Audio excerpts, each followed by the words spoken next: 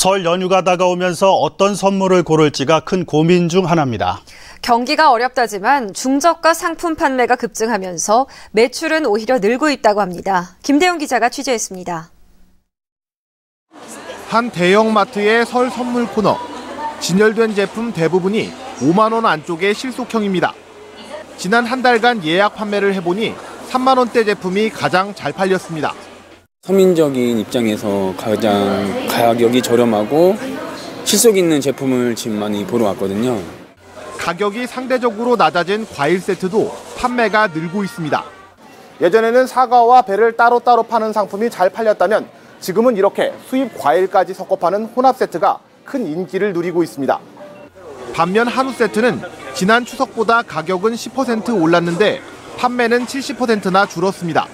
평상시 행사를 많이 하다 보니까 어, 세트 상품의 가격대가 상당히 높다라고 어, 고객들이 이제 인식을 하고 계십니다.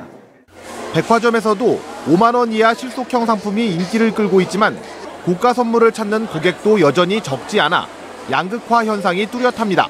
가격적 측면도 상당히 양호하면서도 어, 여기 백화점에서 혜택 주니까 어, 제가 원했던 가격이면서 중저가 상품 위주지만 전체 매출이 지난해보다 늘며 유통업계는 설 특수를 누리고 있습니다.